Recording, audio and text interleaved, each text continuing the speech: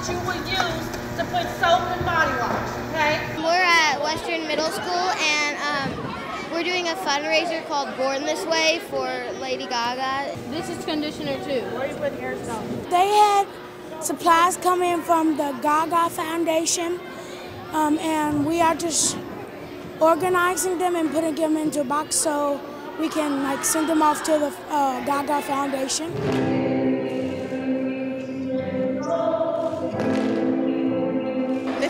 Incredible day uh, to celebrate World Kindness Day here in Louisville. An amazing way to wake up this morning.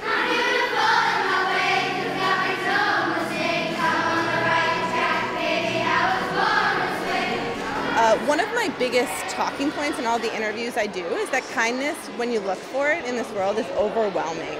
And the walls and, and air here is filled with it uh, in the incredible work that these young people are doing. We know our truth, we know where our hearts lay. We're proud of ourselves, we were born this way. Our goal at Born This Way Foundation is to build a kinder and braver world, and we have the privilege of traveling along with the Joanne World Tour.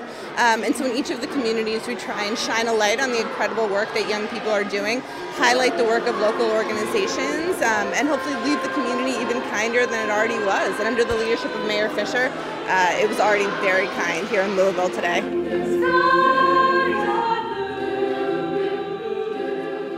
She will t- tell you herself. She wants to be remembered for this work, uh, if not more than for her music. This is truly comes from a very personal place for her um, and means the world to her. So she's so excited that we're here this morning and wishes she could be here with us today.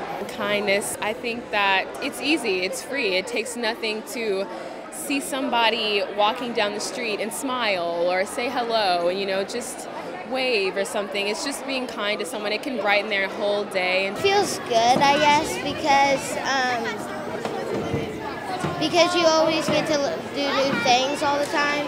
I felt good because I was helping out my community, and so I knew that it was good to help out my community and also the ones that need help in um, our community.